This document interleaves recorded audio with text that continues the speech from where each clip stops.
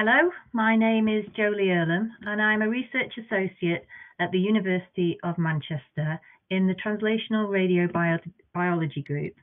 And today I'm going to talk to you about the importance of understanding the hypoxic status of the tumour microenvironment uh, in relation to cancer patient treatment response and about the hypoxia associated gene expression signatures that we as a group have derived developed and validated to change the face of precision cancer medicine, directing cancer treatments, and improving cancer patient outcomes. And to help achieve this, we have also spun out a company from the University of Manchester called Mantra Diagnostics Limited. so the challenge, there is an unmet need because currently there is no easy, accurate, reproducible way to clinically measure tumour hypoxia. Now, biomarker development is fraught with failure at the moment. 98% of uh, biomarker development programs fail to progress to clinical application, meaning that all of these studies that have been invested in, a patient is never seen the benefit of. Uh, and developing gene expression studies at the moment is attractive, and this is due to the availability of publicly available data sets which allow the validating of signatures. Uh, and signatures have entered the clinical arena for molecular stratification, such as the ProSigna signature, the Oncotype DX, and the MammaPrint. And work in Manchester within our group, we have developed tumour type specific signatures for assessing hypoxia. And our focus and our great strength as a group is our ability to validate, validate, validate our signatures on independently collected clinical cohorts. And our focus has always been uh, on the route to clinical application for patient benefit. So, why target hypoxia? Mm, patients with the most hypoxic tumours do worse and their cancer is more likely to spread.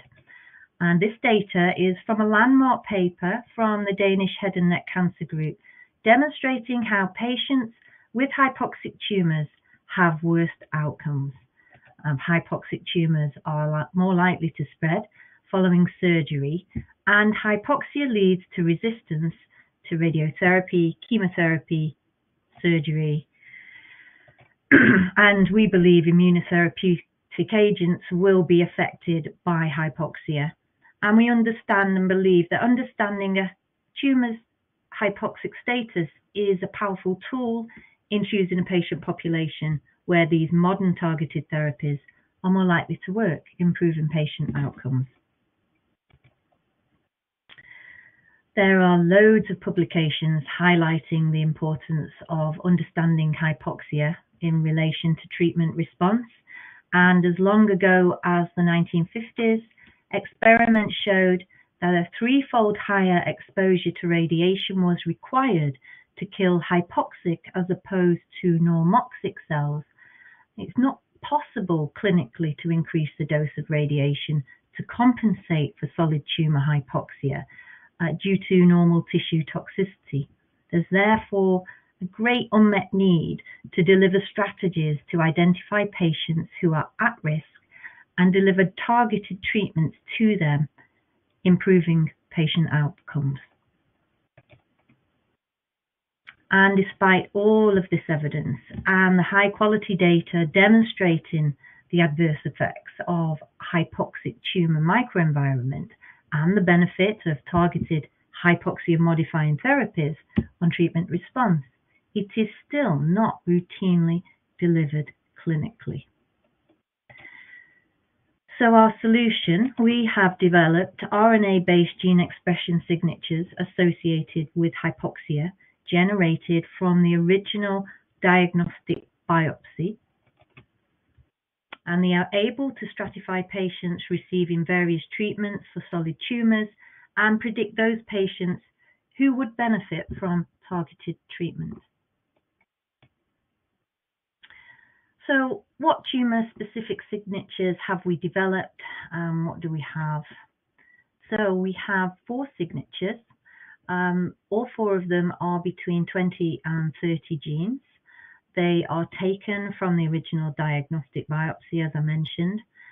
We have validated them across multiple platforms, all automated, very easy to score. Um, the prostate, um, bladder, head and neck, and sarcoma signatures are all prognostic. And the head and neck and bladder have also shown to be predictive of benefit from hypoxia modifying therapies. For example, um, with the bladder signature, we showed that bladder cancer patients who are identified as having hypoxic tumours who are then given hypoxia modifying therapies have a 30% increase in overall survival. All of our signatures are validated in multiple cohorts, which you can see on this slide. And we also have two signatures in the development pipeline for lung adenocarcinoma and cervix. So we use the pre-treatment uh, diagnostic biopsy and we can generate a score within 48 hours. The multiplex nature um, means that uh, it is a gives a robustness to the signature, reducing intratumor heterogeneity.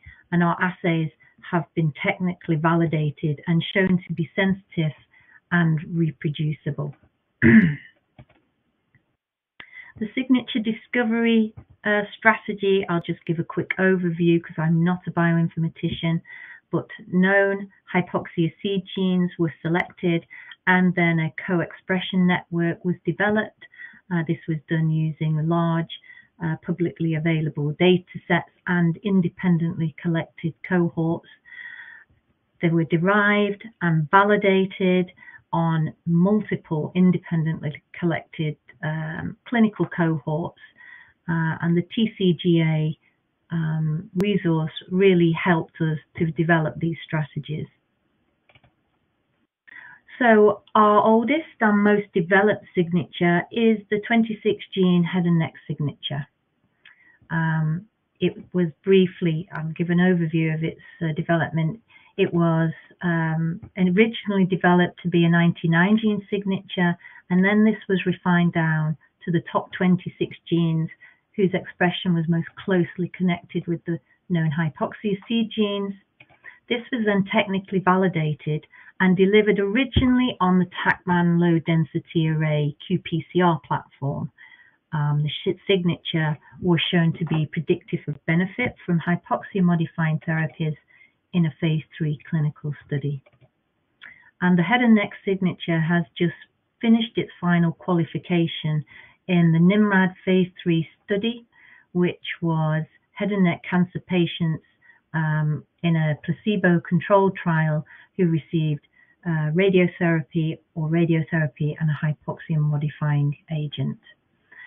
We have also developed a health economic model um, to deliver the cost benefit of using our test or our signatures as a biomarker to identify radiotherapy patients who would benefit from hypoxia modification. we have the 24 gene sarcoma signature that demonstrated patients with high hypoxia scores measured during with the signature have a poor prognosis and this was demonstrated in two large independent cohorts. We have a 28 gene prostate signature uh, that has been validated in 11 independent cohorts. Prognostic ability has been demonstrated in both high and low risk prostate cancer patients, and patients with hypoxic tumors do worse. and finally, we have a 24 gene bladder signature. Uh, it has a similar derivation strategy to the head and neck signature. And in a study where bladder cancer patients were given radiotherapy and hypoxia modifying therapies instead of radiotherapy alone, these patients had a 13% increase in overall survival. However, the patients who were identified as having hypoxic tumors using our signature, um, they they showed a 30% increase in overall survival, really demonstrating that it was the hypoxic patients who saw the most benefit from targeted hypoxia modification. So the current patient journey, uh, patients present and are given their cancer diagnosis from their original biopsy, and there's a one-size-fits-all approach, giving a low response rate. The beauty of patient stratification, particularly using um, hypoxia, is that the test can be measured from the original diagnostic biopsy, so there's no extra intervention for the patient. It's very straightforward. Um, and the hypoxia score, if it's if they score high, demonstrating they have low oxygen in the solid tumor, at the start of the care pathway, they can be they can be um, directed towards treatments that are more appropriate to their tumor microenvironment. And patients who are demonstrated to have a good oxygen delivery, they, they can go towards standard of care and be confident that that's appropriate for them. And this will give a higher response rate. So we are a radiobiology group and all of our research is focused on bringing benefit to radio uh, radiotherapy patients. However, we understand that cancer is treated by targeting the 10 main hallmarks of cancer. And we want to extend the utility of our signatures beyond the area of radiotherapy. Now, all of these uh, hallmarks are influenced by hypoxia. So we decided to focus our attention on the immune activating agents or the checkpoint inhibitors and the PARP inhibitors.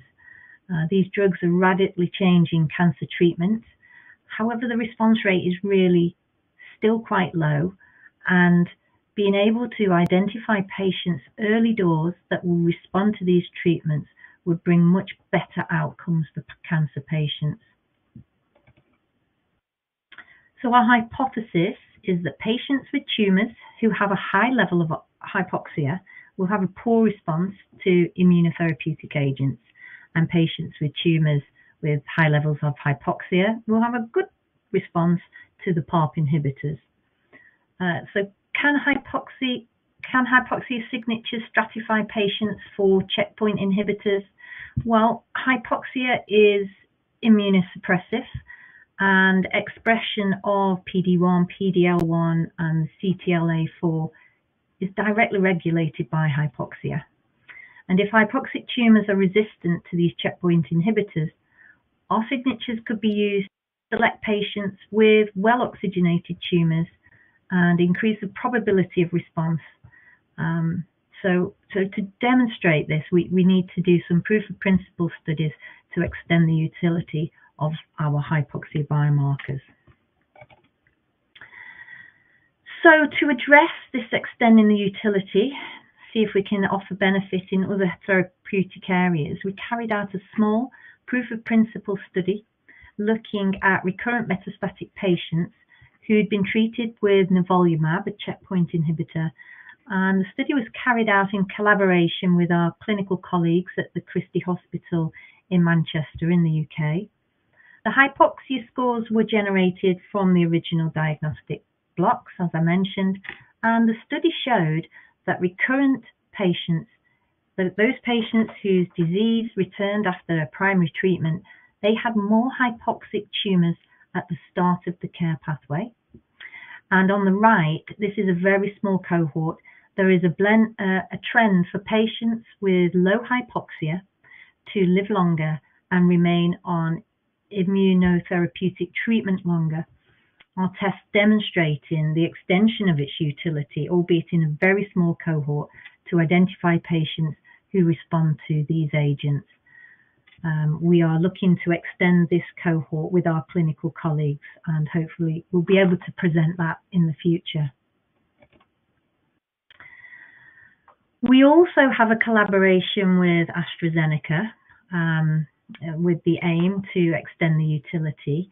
Uh, we ran our signatures through AstraZeneca clinical cohorts And we clearly demonstrated an ability to stratify patients based on their hypoxic status.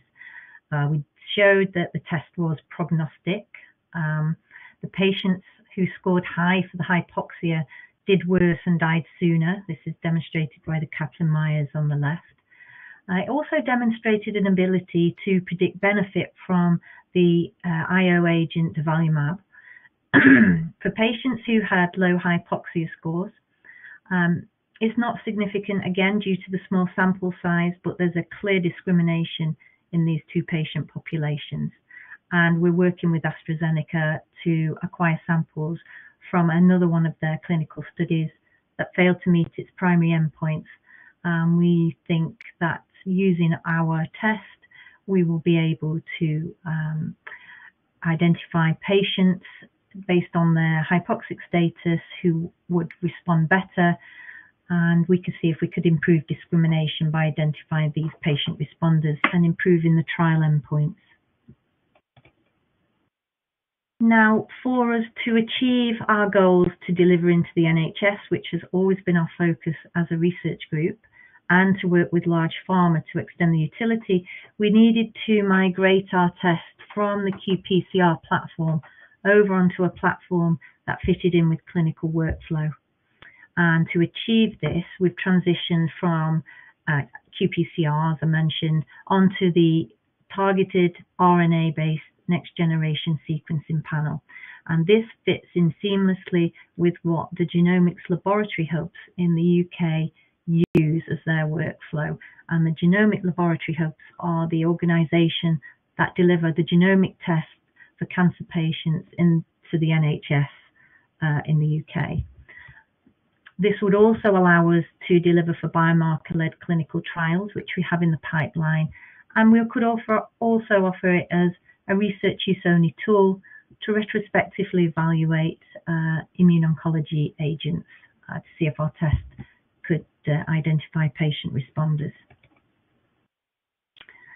We want to clinically deliver our test for radiotherapy patients. That has always been our focus. Um, and as mentioned, we fitted in with the clinical workflows by migrating onto an NGS panel and demonstrating its concordance with our original platform. And we've worked with, or are working with, the Northwest Genomics Laboratory Hub um, to deliver this for patient benefit. And the release of the NIMRAD outcome data, the um, final phase three qualification that I mentioned before, will be input into a health economic framework which we've had commissioned, which will give a cost benefit, hopefully, for using the test to identify patients who would have benefited from hypoxia modification prior to the radiotherapy. And this, if this shows a cost benefit, um, then we can lobby NICE for our test to be used as a biomarker prior to radiotherapy treatment. So, in summary, the advantages of patient stratification based on hypoxia. It is a non-invasive test taken from the original diagnostic biopsy. It gives information across the whole of the patient population. And patients who are identified as being hypoxic at the very start of the care pathway can be directed to appropriate treatments. And those patients that have good oxygen delivery, uh, not hypoxic tumours, can be confident that the treatment that they're getting is the best for them.